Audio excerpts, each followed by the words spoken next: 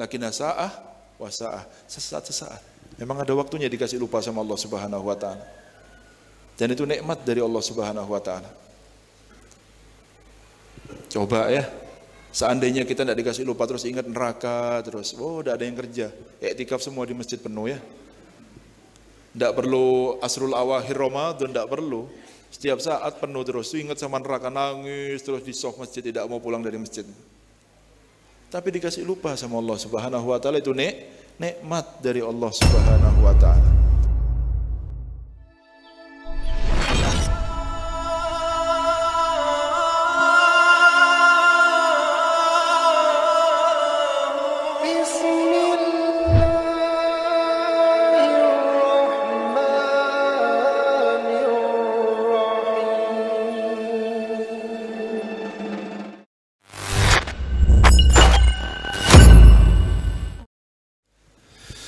Wajib tu liman amila di daril fana wa taraka darul baqa. Ajib orang ini, sibuk untuk tempat yang akan dia tinggalkan nih dunia ini. Pasti dia tinggalkan, tapi sibuknya untuk tempat yang pasti dia tinggalkan. Kenapa dia tidak mau berpikir untuk beramal dengan sesuatu yang dia akan kekal di dalamnya nanti di akhirat? Ini akal, ini aneh. Sampai yang tahu sesuatu yang yakin yang menjadi keraguan-raguan ini, ya itu kematian. Orang yakin akan mati tapi tidak ada yang beramal untuk kematian sama sekali. Ada dah orang datang kepada kiai atau habib terus nangis. Laporan apa? Doakan kiai supaya saya istiqomah amalnya. Masih sedikit sanggup saya sama akhirat. Ada? Tidak ada. Saya belum pernah datangi orang kayak gitu masih. Ya tidak tahu kalau ke kiai-kiai lainnya mungkin ada mungkin. Tapi saya belum ada kasus seperti itu. Yang ada minta usahanya supaya lan Doakan Bib lancar Bib. Cepat berkembang. Ini apa semuanya? Nanti insya Allah, ya kalau saya sukses saya akan bantu pondok pesantren. Wis ya. Sudah usah seperti itu, sudah.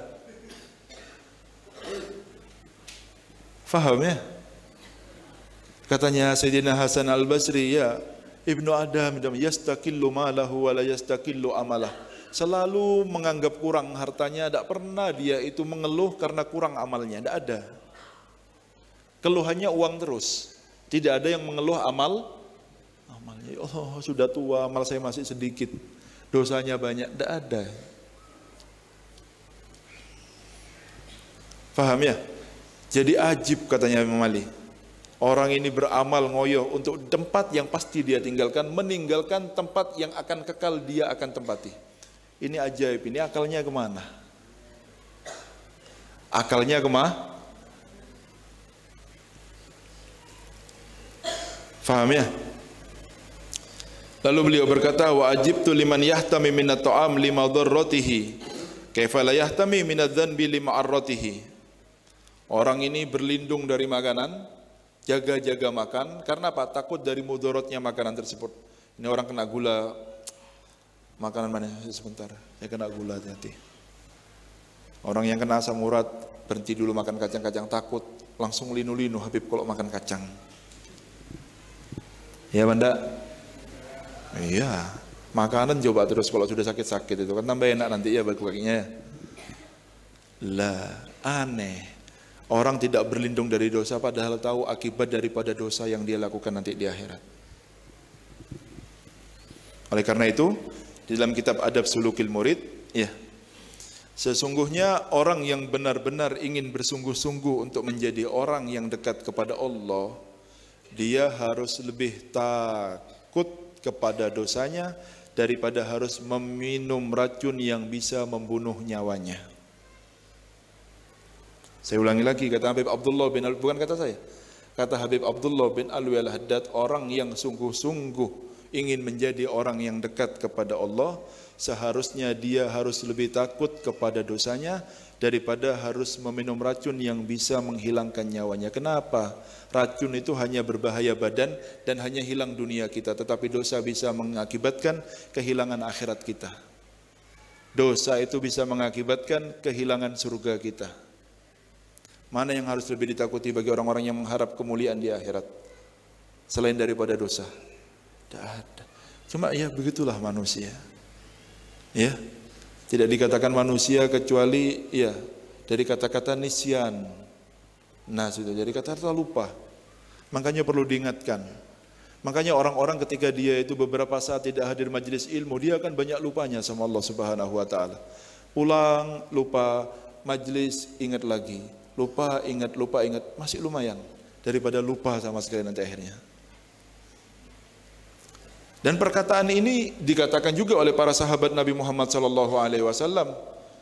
Sayyidina alhamdulillah kunna idza jalasna inda Rasul sallallahu alaihi wasallam ya yudzakiruna bil jannah wan nar ka'annal jannata wan nar hasba yunina katanya. Kita ini kalau duduk dengan Nabi Muhammad sallallahu alaihi wasallam lalu Nabi mengingatkan kita tentang surga dan neraka karena hebatnya Rasulullah ketika menerangkan sampai seakan-akan surga dan neraka itu depan kita semuanya. Wa idza afasna azwaj wal aulad nasina kathiro. Kalau sudah pulang, kumpul sama istri, sama anak, lupa lagi katanya. Ini manusiawi. Ini manusia. Yang penting jangan dipisah majelis sama Rasul Sallallahu Alaihi Wasallam. Karena perlu diingatkan lagi jiwa-jiwa yang lupa ini. Katanya Rasulullah, kalau kalian ingat terus dengan apa yang saya sampaikan, malaikat di jalan-jalan akan salaman semua sama sampean. Lakin sa'ah wa sa'ah. Sesaat-sesaat. Memang ada waktunya dikasih lupa sama Allah Subhanahu wa taala. Dan itu nikmat dari Allah Subhanahu wa taala. Coba ya. Seandainya kita tidak dikasih lupa terus ingat neraka terus, oh tidak ada yang kerja. Iktikaf semua di masjid penuh ya. Tidak perlu asrul awahir Ramadan, tidak perlu. Setiap saat penuh terus, ingat sama neraka nangis terus di soft masjid tidak mau pulang dari masjid tapi dikasih lupa sama Allah Subhanahu wa taala itu nek nikmat dari Allah Subhanahu wa taala. Paham ya? Oleh karena itu perlu ya kita ini semangat memberikan semangat kepada diri kita sendiri untuk selalu semangat di dalam beribadah kepada Allah Subhanahu wa taala. Lihat apa yang menjadi hajat saudara-saudara sekitar kita ini. Jangan tutup mata kita dengan mereka. Sekecil apa pun bantuan kita, mungkin bisa jadi karena bantuan yang kecil itu menyebabkan kita selamat nanti di akhirat. Ya, karena kita banyak melihat hadis-hadis ya. Ya, bagaimana seseorang ini hanya membantu seekor anjing yang notabene yang membantu itu adalah perempuan yang kurang baik ya sampai jadi sebabnya dapat hidayah dan masuk ke dalam surganya Allah Subhanahu wa taala karena rasa rahmat yang ada dalam hatinya kepada makhluknya Allah. Lah bagaimana dengan manusia? Sampai Rasul sallallahu alaihi wasallam beliau dalam hadisnya, "Ra'aitu rajulan yataqallabu fi gusni sajari fil jannah, min jannah ilal jannah." Ya, saya melihat seorang laki-laki keluar masuk pintu surga dari dahan ke dahan satunya, dari pohon ke pohon satunya. Apa, apa, apa yang membuat dia ini masuk ke surganya Allah? Dahulu ketika hidup, kata Rasulullah, ada batang pohon yang jatuh di jalan, lalu dia berkata, saya akan pinggirkan takut ganggu saudara saya. Apa? Masuk surganya gara-gara apa? meminggirkan batang pohon yang jatuh yang membentang di jalan takut ganggu saudaranya, masuk surga. Kalau itu keluar dari hati yang rahmat kepada saudaranya. Kita tidak tahu amal mana yang diterima. Karena itu berbahagialah kalau kita bisa menolong saudara kita karena bisa jadi sebab itu ya menjadi penyebab kita dimasukkan ke dalam surganya Allah. Jangan pernah mengeluh ya ketika jadi orang baik ya. Jangan pernah mengeluh ketika menjadi orang baik semua akan ada hasilnya dan semua kita akan lihat daripada apa yang kita lakukan semuanya. Faham semuanya ya? Semoga jadi ilmu yang bermanfaat ya. Majlis demi majlis keadaan kita menjadi semakin baik ya. Karena amal itu apabila benar kita lakukan baik ya, maka akan menyebabkan hati kita ini bercahaya. Hati kita ini akan diliputi oleh rahmat yang rahmat itu pertama dirasakan oleh diri kita, keluarga terdekat kita, apabila lebih rahmat kita sampai dirasakan oleh orang-orang yang ada di sekitar kita, itu buah apabila ibadah kita benar ketika kita lakukan kepada Allah Subhanahu wa taala.